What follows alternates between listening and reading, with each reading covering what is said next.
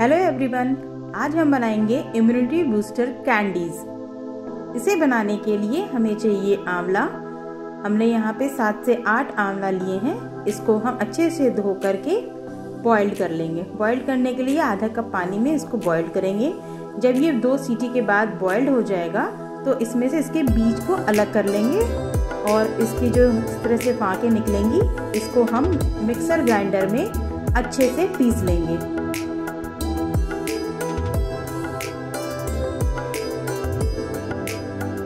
इसको हम सारा मिक्सर ग्राइंडर में डाल देंगे और अच्छे से इसको पीस लेंगे। इस प्रकार देखिए, हमने इसको अच्छे से एकदम पीस लिया है। और अब हम इसमें जो है मसाले देखिए क्या क्या डालने हैं। इसमें हमें गुड़, काला नमक, सादा नमक, सौंठ, अमचूर, जीरा हींग अजवाइन, ये सब मसालों को हम डालेंगे। सबसे पहले जीरा और अजवाइन को भून करके पीस लेंगे।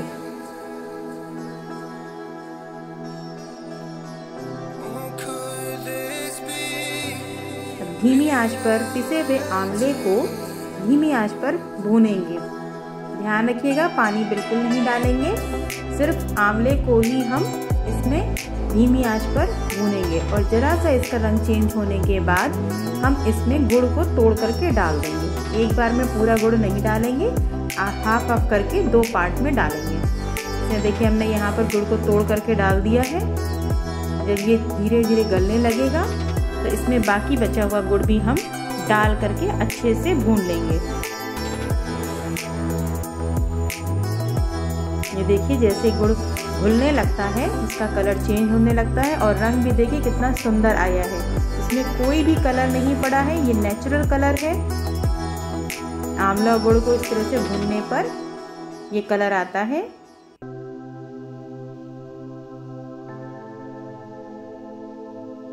इसको अच्छे से भूनते रहेंगे धीमी आँच पर ताकि ये जले नहीं। ये देखिए, अभी हमारा लगभग भून गया है। अब हम इसमें मसालों को डालेंगे। सारे मसाले हम एक साथ इसमें डाल सकते हैं। जीरे और अजवाइन को भून करके हमने पीस लिया है और सारे मसाले इसमें डाल करके अब इसको अच्छे से चलाएँगे। धीमी आँच पर भूनते रहेंगे। जब ये बर्तन से छोड़ने लगेगा, जब आपको लगे कि हाँ ये अब चिपकने लगा है नीचे से धीरे धीरे तो मतलब इसका पानी पूरा जब सूख जाएगा, तब हम इसको, तब इसकी हम गैस को फ्लेम को बंद करेंगे। इस प्रकार मटेरियल तैयार होने के बाद इसकी शुगर पाउडर में इसको छोटी छोटी गोलियाँ बना करके अच्छे से शुगर पाउडर से कवर कर देंगे।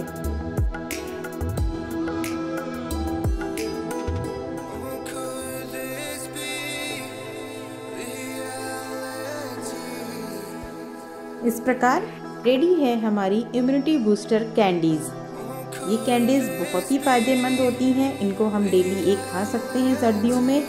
आंवला, गुड़, हींग, अजवाइन ये सभी ऐसी चीज़ें हैं जो कि हमें अंदर से स्ट्रॉन्ग बनाते हैं। आइए अब हम इसे रैप करेंगे। कैंडीज़ को रैप करने के लिए हमने यहाँ पर पैकिंग पेपर लिया है कलरफुल शीट्स और ये बर्ड ली है आर्टिफिशियल बीच में हम इसमें एक कैंडी को रखेंगे और ऊपर की तरफ़ इसे फोल्ड करते हुए बर्ड से बाँध देंगे।